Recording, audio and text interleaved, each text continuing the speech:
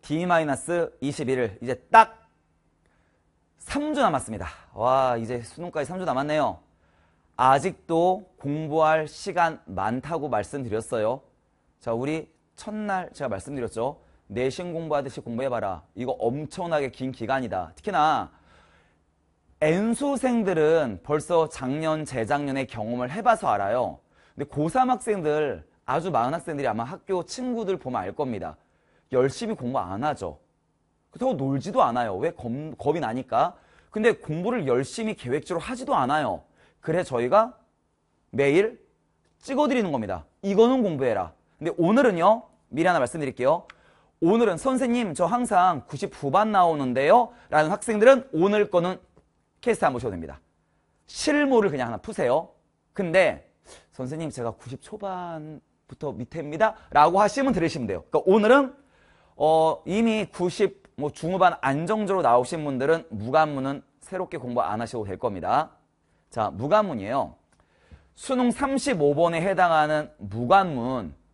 자, 이거인 경우에 막연하게 틀린 거 아니에요. 어휘하고 똑같습니다. 제가 바로 22일차 D-22일 바로 앞에 수요일 날 어휘 공부하라고 얘기했죠. 그거를 꼭 먼저라고 하는 게 어휘 공부하자마자 무가문 공부하시면 돼요. 출제 의도 문제풀이 방식이 100% 똑같습니다. 위아래 위아래 관계를 보면 되게 어려울 수 있거든요. 읽는 순서만 바꿔봐라.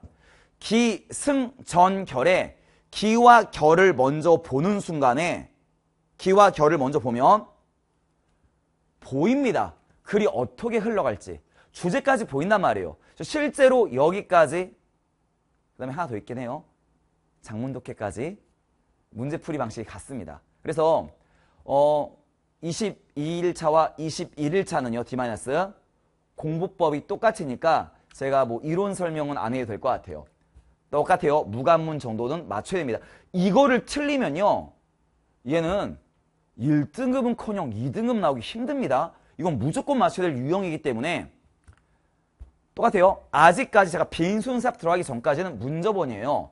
문제 접근의 원리 무관문에 들어갑니다. 자, 우리 수강하는 우리 학생들 복습을 자, 선생님 저 그거 5월 달에 공부했는데요. 또 하세요. 자, 프린트 새 걸로 다운 받아서 다시 합니다.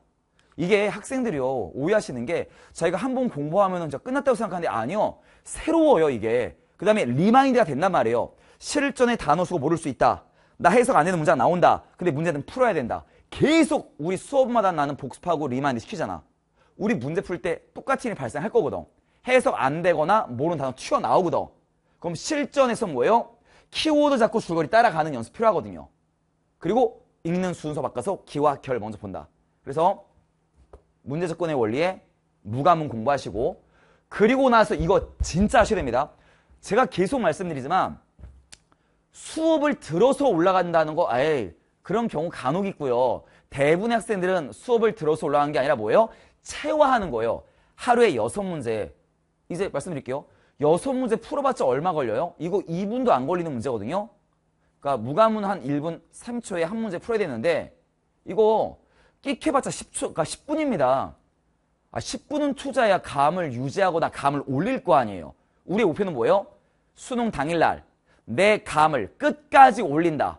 내가 인정한다. 단어 수고 모르는 거 나올 수 있고 해석 안 되는 거 나오겠지만 문제 풀이 감은 끝까지 올리고 시험장에 간다. 이게 목표 되는 거 아닐까요?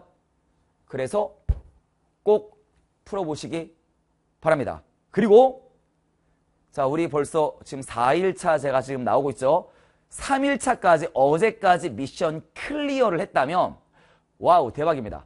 작심 3일을 이기신 거예요. 그러면 여러분들은 정말 승리하실 겁니다. 우리 수능날 웃으면서 집에 갑시다.